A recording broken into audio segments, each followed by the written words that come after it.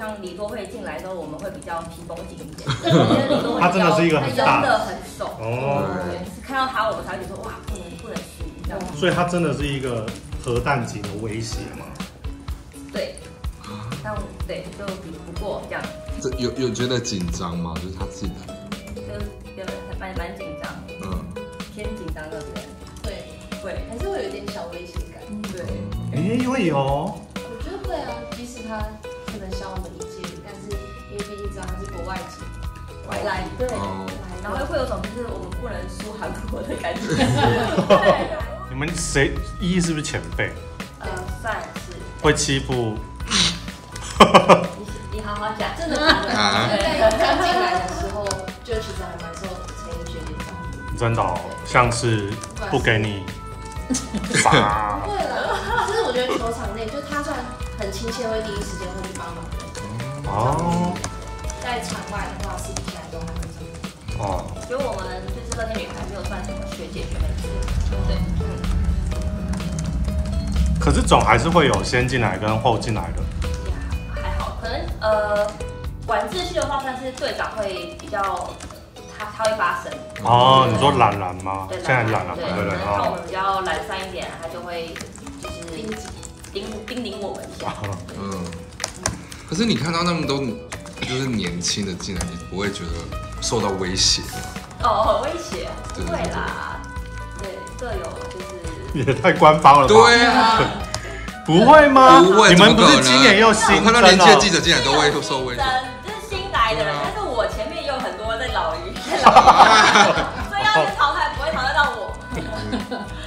可是你会比如说要更注重保养或者什么，就是怕被他们追过。不会，他们都觉得我跟他们才才差不多。哦，不是，我们就是姜还是老的辣，我们都我们有我们自己的优势，对不对？有没有？我们是比较能干，你自己说。对，对，新进来的是不懂。他们笑，他们笑。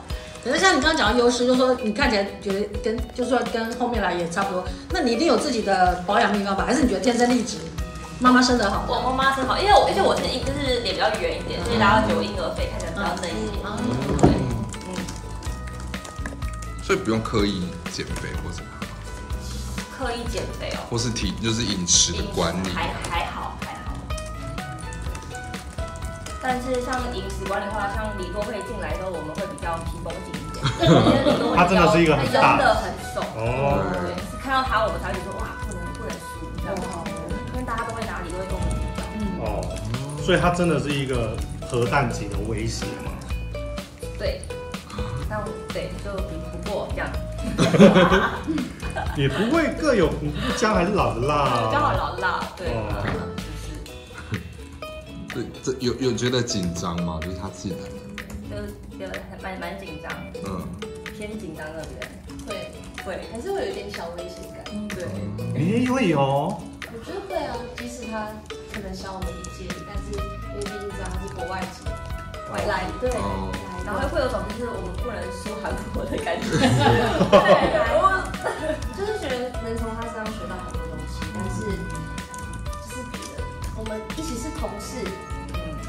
那个感觉？就是要一起，我们会一起一起努力，一起呃一起竞争，但会一起学习大家的优优点，互相激励的感觉